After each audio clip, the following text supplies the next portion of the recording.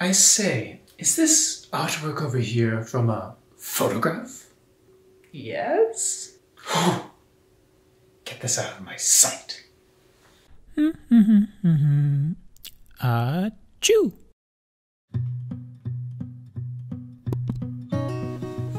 As a realist or really anybody who works in representational art, you've been asked this question before. For some reason, there's a taboo that surrounds working from photographs, and in this video, I want to try to address it. Every artist has a different stance on this subject, and instead of trying to talk on behalf of other artists, I'm just going to share how I work from photographs and why. Now, before I start, I just want to fill you in on what I'm doing in this painting because I'll be referencing it throughout the video. At the beginning of my day, I took some time to draw and plan out what I'm going to try to accomplish for the day. As I show you this clip of me planning out my painting for the day, you'll notice I'm paying pretty close attention to my reference photo. To summarize how I see the camera in photos, I think it's a bit silly that there's so much taboo surrounding them, and I see them as a tool. Like any tool, the effects that they have on the process and the product really comes down to the way that they're used. For some reason, you're not supposed to show anyone your reference photos, but I'm not going to do that. So, here are my reference photos, and here's my drawing. Ideally, I'd sketch on site, plan out my composition there, and take a couple photographs to try to capture the details and textures I'll need for my final painting. Unfortunately, usually the things I want to paint, I experience them in passing, and the best I can do is a quick iPhone photo. Specifically for this landscape, I couldn't stick around to sketch because I wasn't sure if I was trespassing, and there was very clearly a car tailing us while we were walking around. So I snapped a couple quick photos and ran away as fast as I could.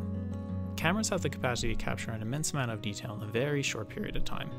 But they're a bit of a double edged sword when you're trying to make art.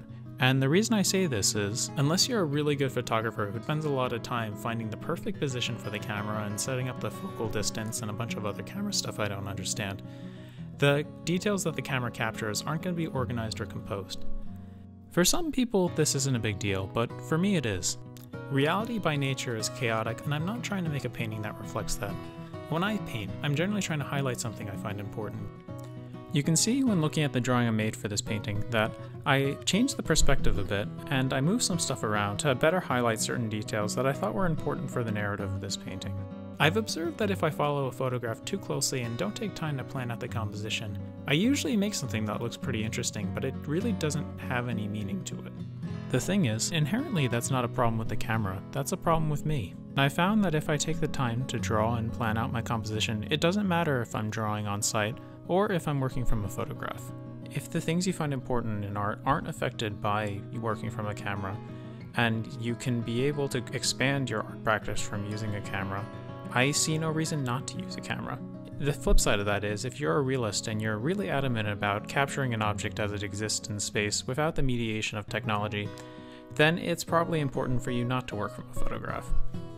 Different artists find different things important, and I'm not going to say that artists who despise working from photographs are wrong. I don't advocate that artists should blindly follow their reference photos, but I think that it's perfectly fine for an artist to take a photo as a reference. Working from photographs has allowed me to address a much wider range of subjects, such as this vacant lot in the middle of Philadelphia filled with trash, where for a lot of practical reasons I couldn't stick around for an afternoon to sketch it out. I still enjoy making art in conventional spaces like parks and nature preserves, but as an artist, I want to make art that reflects the reality I experience. And the reality I experience isn't in a park or a nature preserve, the reality I experience is here.